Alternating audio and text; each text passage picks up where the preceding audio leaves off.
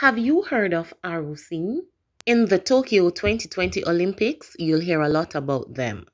In fact, they are currently number six on the medal table. ROC isn't a country, but it's an avenue through which Russian athletes can compete in the Olympics, even though Russia is banned. Russia is currently banned for two years from the Olympics. Means Russian Olympic Committee.